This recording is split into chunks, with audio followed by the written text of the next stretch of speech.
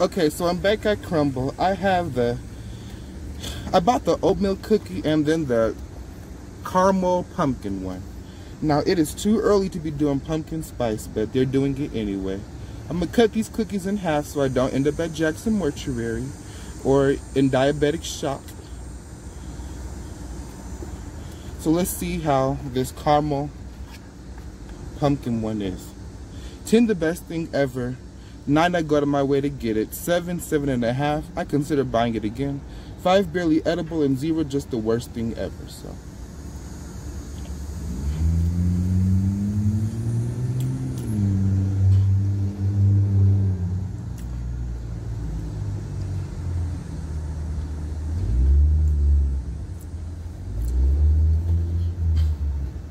It's not bad. I'll give it an eight.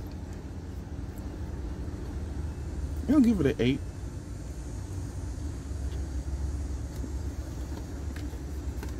Mm. I'll give it an eight. It's not bad. No. This classic oatmeal is really what I'm looking forward to. It says it's just like the basic oatmeal.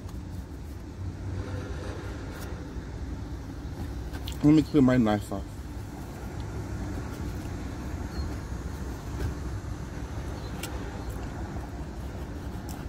It was a little gooey in the middle, a little too gooey for me. Let me see how this classic oatmeal is.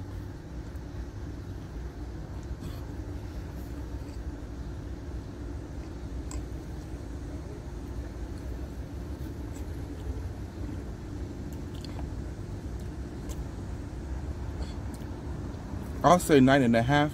It's a really good take on a basic cookie. I mean, it's standard, has good flavor, it's software needs to be, nice, a little hard out of crust.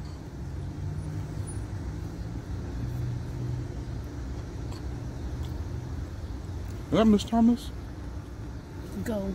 Go, because I'm going to say some shit. You better, you better get the fuck off camera because I'm going to say something.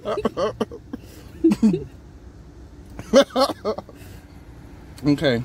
So yeah, um I forgot the video I was recording. um you better drop the fuck off right now. She's pulling up right beside okay. It's a solid 10. Um nine and a half. Calculator. Goodbye. Okay, so excuse that earlier. I don't know what my sister said. But the oatmeal was a nine and a half out of ten. It wasn't the best thing ever, but it was a delicious cookie. I would definitely order it again with no problem. The caramel apple, it was good, but once again, just a little too sweet.